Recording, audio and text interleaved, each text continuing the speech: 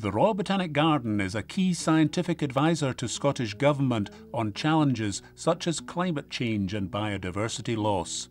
From conserving at risk species in the mountains to public engagement on the greening of cities, it is helping to deliver Scotland's biodiversity strategy.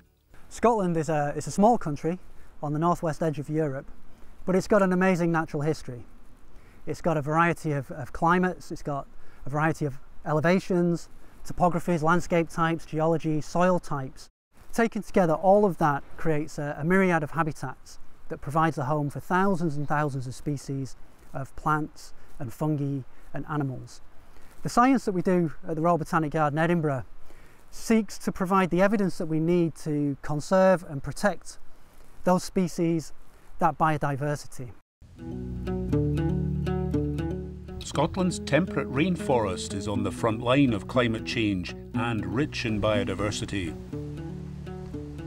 Here we are in Ballachuan Hazelwood, and it is an iconic jewel in the crown of Scotland's nature. What makes the woods special, as well as the trees, are the things that grow on them, because here the warming effects of the Atlantic make a safe home for hundreds of mosses, liverworts, and lichens including endemic species. The thing that makes these temperate rainforests special is the epiphytes. It's the bryophytes, mosses, lichens, liverworts. And they're very unusual in the global context. We have big populations of them which we need to protect. So one of the big jobs that we have at the Botanic Garden is not just studying the diversity of the species that occur here, but it's the distributions of them. So temperate rainforest is special for these tiny epiphytes and they're exquisitely sensitive to their environment.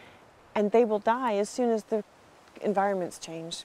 But one of the big problems that these forests are facing is that there's very little of it. Here in the rainforest zone of Scotland, there's a tiny fraction of, of woodland that's in this condition. We need to make sure that these species can migrate across the landscape as their habitats shift underneath them. And that's some of the work that we do. I'm just applying some, some Vaseline here to the arms of, of what is our spore trap.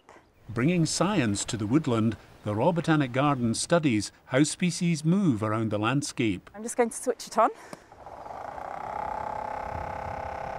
These little arms here are whizzing around at a really high speed and they're picking up any tiny little particles in the atmosphere, including, if there are any, the little tiny lichen spores. They're the reproductive parts of the, the lichens and they're the things that are going to be travelling on to new woodlands and colonising them. The Scottish Government has hugely ambitious targets to create more woodland in Scotland, up to 21% by 2032. Um, it's hugely exciting and we can really make the best of that if we learn more about these amazing species that we have in Scotland and how they're moving around the landscape. The Royal Botanic Garden is doing science which advises landowners and managers on how to structure new woodlands so the rainforest species can adjust to change, including climate change. The mountain plant Cicerbita alpina is another species at risk. Rare, isolated by overgrazing, it is weak in the face of climate change. As the climate warms, plants such as this have nowhere else to go and could disappear. But the Royal Botanic Garden has solutions, giving new hope for the species in Scotland. We've got just four populations left in the UK, all of which lie in Scotland, all within the Cairngorms National Park. And we've got representatives of all these four populations here at the nursery. Are you able to use these populations to try to increase genetic diversity in the wild?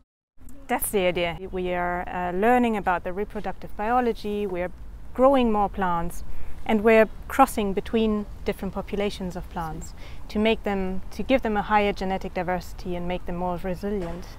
So we'll do some screening. We'll take the plants that you want to move out and we'll screen them um, for hidden cryptic soil pathogens before we move them out. The global threat of plant disease is another focus.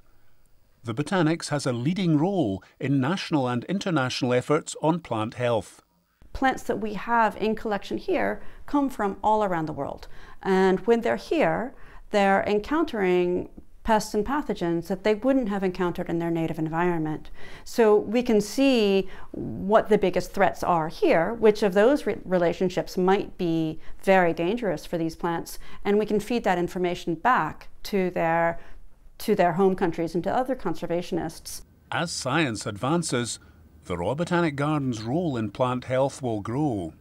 It's awe inspiring to be working in this institution that has been here for 350 years.